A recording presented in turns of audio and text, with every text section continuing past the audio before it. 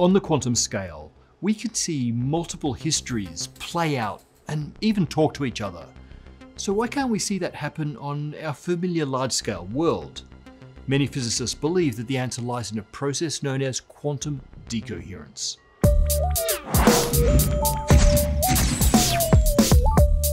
The Heisenberg cut.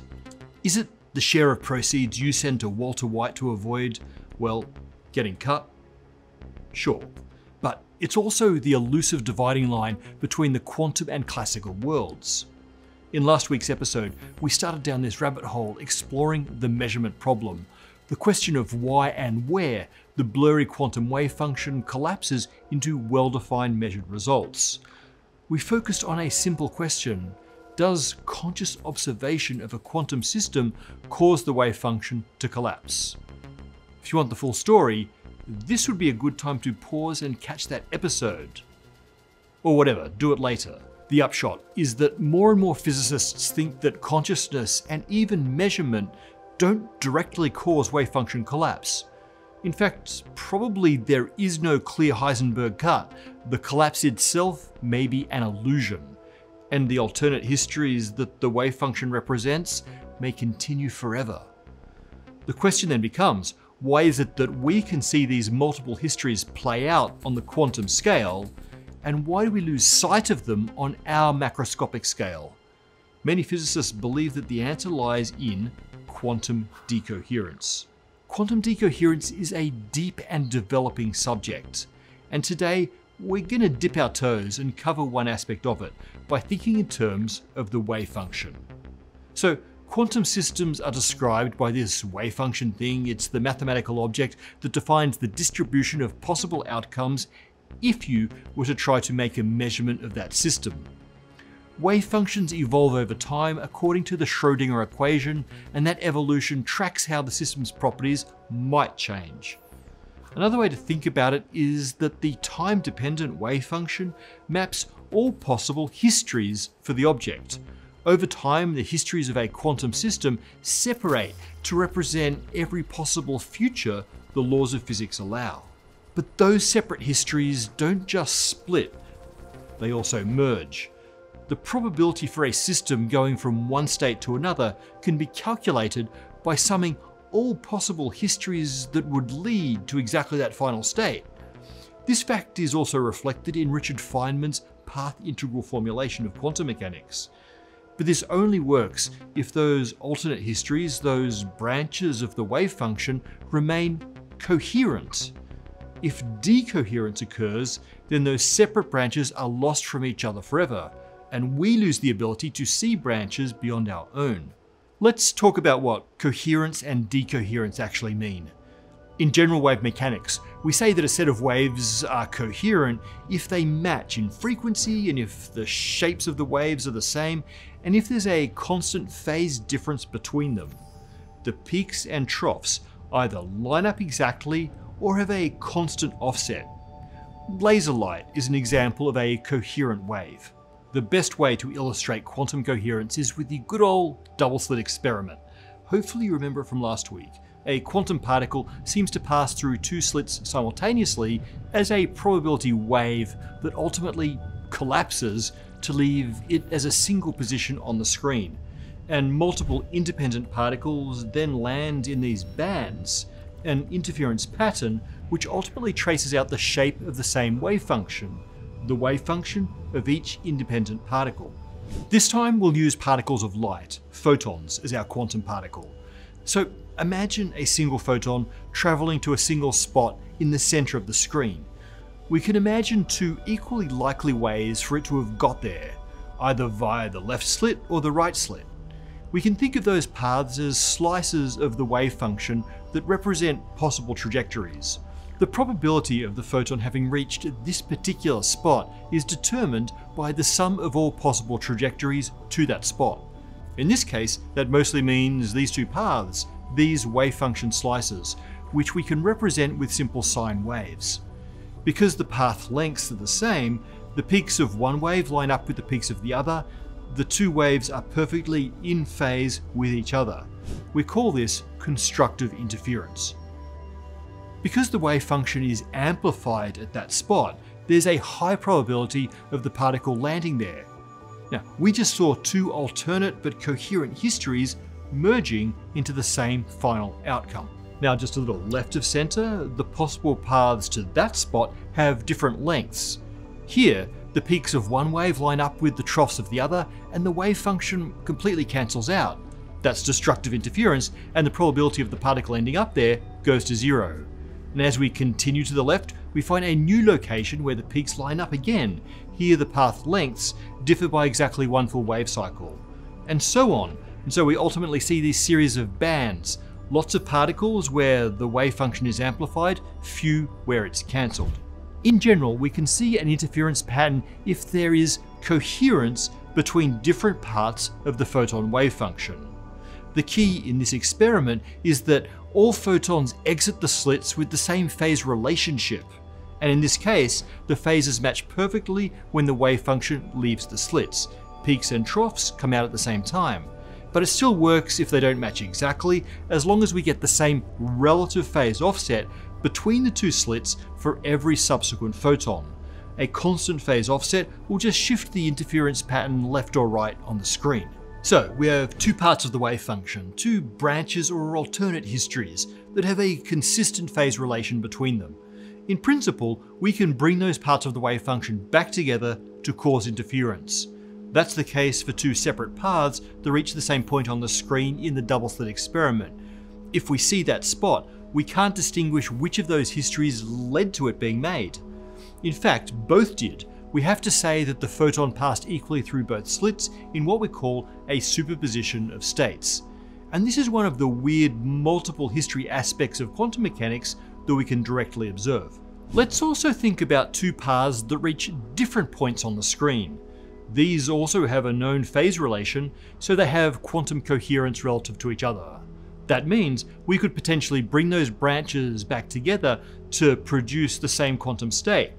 For example, by cutting slits in the second screen and producing an interference pattern further down the track. What seemed like completely alternate histories could still merge, but only as long as the wave function defining those histories remains coherent.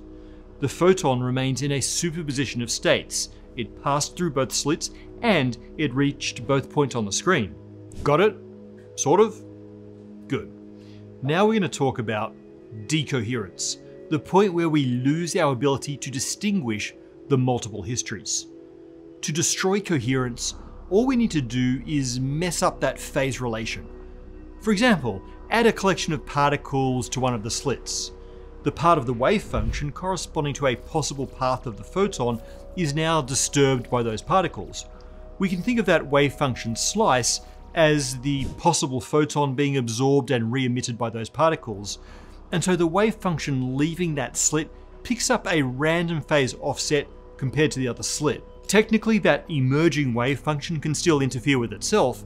The random phase offset would just shift the pattern left or right for that photon, but that shift would then change for each subsequent photon, New photons land in unpredictable places, so in the end we would just see a blur corresponding to overlapping patterns, instead of a clean set of light and dark bands that we saw in coherence. The key here is that we lost information about the relative phase, and so we lost the ability to see the interference patterns. We lost the ability to distinguish the effect of multiple histories. From our perspective, the wave function has lost coherence, decoherence has occurred. By the way, this is why any attempt to observe which slit the photon passes through destroys the interference pattern. Any measurement device must introduce some level of decoherence to the wave function before it reaches the screen. According to the decoherence hypothesis, it's not really some magical effect whereby the wave function knows that it's been observed and so collapses. It's something else entirely, and we will come back to that point. So now we have a basic understanding of coherence and decoherence. Let's now leave the slits alone and let the coherent photon wave function reach the screen again. There, the photon energizes electrons in a pixel in the screen, which result in an electrical signal passing along wires to a computer and eventually into our brain. We can think about the photon wave function becoming mixed with the wave functions of the quantum particles along this chain. We can imagine separate possible histories continue, now with electrons simultaneously excited and not excited across the screen, and superpositions of signals travelling from those pixels ultimately to the brain of the observer. But by now that wave function is getting pretty messy. The electrons in the detector and in the circuits will be at different locations and will have different energies. Phase differences get introduced between the different branches of the increasingly complex wave function. Imagine just two potential locations for the original double slit photon. Two branches of the wave function will represent histories where the photon landed in different locations.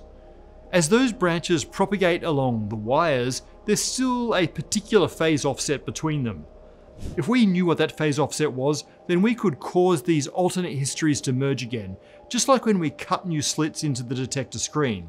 Perhaps instead we could use that electrical current to generate a new pair of photons which could then interfere. But that phase offset becomes less and less knowable the further the wave function advances, and the chaotic nature of the system also ensures that the phase offset changes between one incoming signal and the next. Without a consistent wave offset, it's not possible to map an interference pattern. The once coherent branches of the wave function, with their superposition of both separate histories that could merge, now become decoherent. Ultimately, that expanding wave function includes the circuitry of the computer and then the circuitry of your brain. There may still be multiple alternate histories propagating from the original double slit wave function, but by now, each of those wave function branches corresponds to a specific configuration of matter and information in the computer and in your brain. And that particular brain configuration will result in the conscious awareness consistent with that one branch of the wave function corresponding to a single location for the double slit experiment. At this point, as far as you're concerned, the wave function has collapsed. Decoherence has occurred. But actually, the original double slit wave function may well continue to expand and complexify as it mixes with the wave function of the rest of the universe. But there's no way for you to see its other branches, those have decohered from your branch. So you shouldn't think of yourself as this God's eye observer capable of seeing the whole wave function and causing it to collapse. Rather, you are embedded within the wave function and you see only a slice of it, a slice corresponding to a single history. It's only on the smallest scales or in the most idealized circumstances that different histories can still interact with each other due to the coherence of that part of the wave function. In order to do quantum experiments, we need to isolate a slice of the global wave function and maintain its coherence we need to have information about the relative phases across the parts of the wave function that we're interested in. And for macroscopic scales, that's not just difficult, it's fundamentally impossible. Any contact with the external environment causes the phase information to leak into that environment.